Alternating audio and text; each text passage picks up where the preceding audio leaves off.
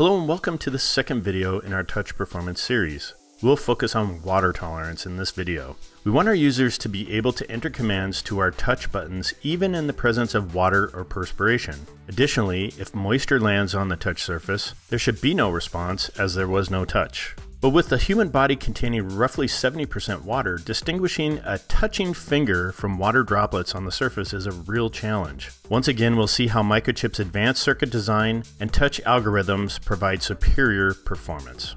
For this water tolerance test, we are using the same PIC32 WFI32E Curiosity board and QT7X Pro touch extension board that we used in our first video for speed test.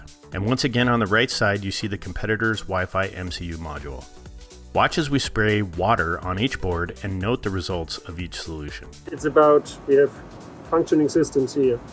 It's about not getting a fault triggered by the presence of water. So you see what happened on microchip, nothing. See here, the LED, the color changed, which means that one of the button gets activated. Now trying that button works, not fast. Button number one, there's a little bit more water accumulated here, no work button number two I cannot get it to work and the slider position cannot go to, to zero. We apply water to the surface, you see it here. Important, there's no false trigger caused by the water.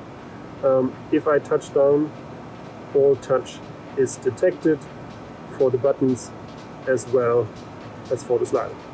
So summing up, the WFI32 shows robust and usable touch even under the presence of water that has been sprayed onto the surface. The WFI32 does not have false touch when sprayed with water, and Microchip's proprietary circuit and touch library provide superior results. Please visit microchip.com slash WFI32 for more information.